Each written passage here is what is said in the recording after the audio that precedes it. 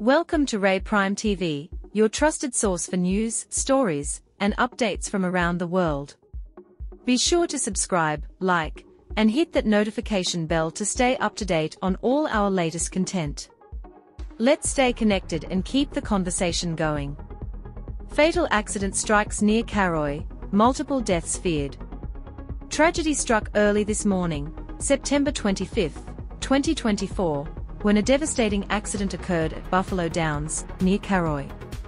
A Harare-bound bolt cutter bus collided with a haulage truck, leaving an unknown number of people feared dead. Rescue efforts are underway, with emergency services and authorities rushing to the scene. The condition of the survivors remains unclear, and the full extent of the damage is still being assessed. Eyewitnesses describe the scene as chaotic, with debris scattered across the road. It's a horrific sight, said one witness. The bus is severely damaged, and the truck is overturned. The cause of the accident is currently unknown and under investigation. Authorities are working to determine the circumstances surrounding the collision. We are deeply saddened by this tragic event, said a spokesperson for the Zimbabwean authorities.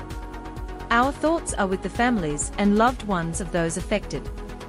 The Zimbabwe Republic Police ZRP has urged motorists to exercise caution when traveling and to follow all traffic regulations. Medical teams are on site, providing assistance to those injured. The number of fatalities and injuries will be confirmed once the rescue operation is complete.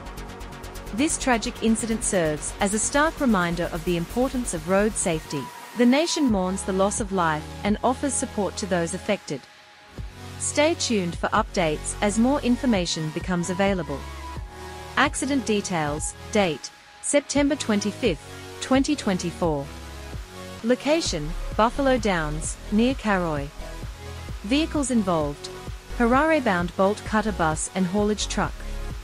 Number of fatalities, unknown. Number of injured, unknown. Investigation, ongoing.